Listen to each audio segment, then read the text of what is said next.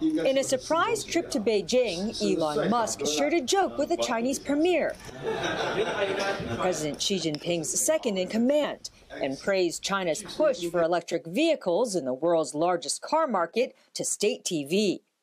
It's good to see electric vehicles making progress in China. The visit was a strategic one.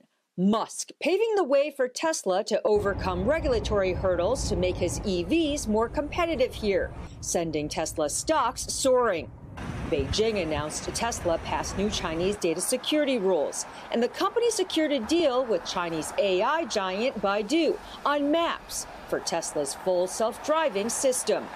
A move meant to capitalize on China's drive to bring EVs online en masse. But Washington sees the market very differently. What we're focused on is practices engaged in by China uh, that are unfair and, un- and undermine our businesses uh, and our workers. And this question of overcapacity is the one that is uh, front and center. That capacity is easy to see at the Beijing Auto Show 278 electric models by brands you probably haven't heard of the Seal 6 sedan by BYD, the Zeekr Mix minivan. And the newest entrant isn't even an auto company. Chinese smartphone maker Xiaomi plans to deliver 100,000 of these cars by the end of the year. The problem isn't that the industry is big. China's critics say it's too big. Too many companies with too many factories spilling out products in global markets. Manufacturers here have the production lines to make almost twice as many cars they sell in China. There are 139 EV brands in this market alone. The local view is that this isn't a problem. That EV is still a small percentage of overall auto sales. So if you look the fast growing nature of this sector, I don't see actually overcapacity. In fact, we need to make sure we have good products and good capacity to fulfill the need of growing EV demand. And that also will help the green transition for Europe and for the US. The Chinese government is on a marketing campaign to dismiss the overcapacity concerns.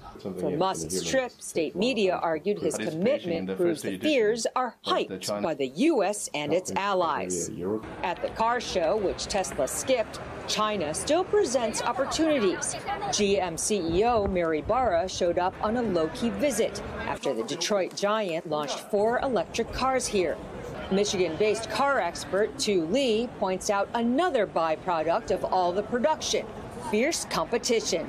The challenges GM will face is the constant onslaught from every direction you know, on, on the mass market side, on the premium market side, on the feature side, on the range side. China wants to dominate advanced technologies like EV and AI, and Musk is a leader in all of that. So, from Beijing's perspective, Tesla is assisting China on its own path towards global tech supremacy. Tom? Thanks for watching. Stay updated about breaking news and top stories on the NBC News app or follow us on social media.